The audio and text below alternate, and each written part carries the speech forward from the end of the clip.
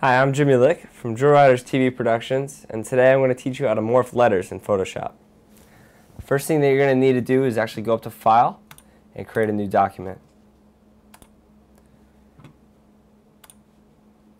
Next, you want to create new text. You can go to your text tool, and I'm just going to type in morphing. Move that to the center.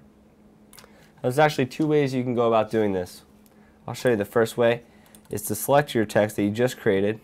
You can go up to the morphing text tool up here and we can warp any kind of text. We can make it an arc.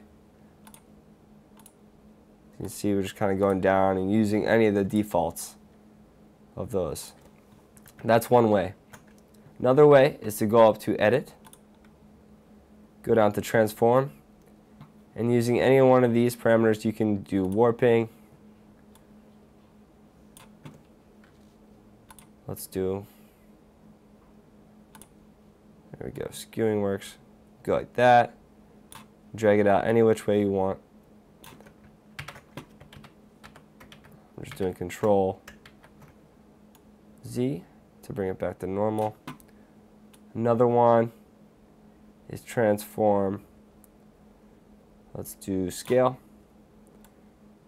And that you can bring it down and morph it any way you want to. That's pretty much it. There's so many ways to do it and you can really get as detailed as you want with it.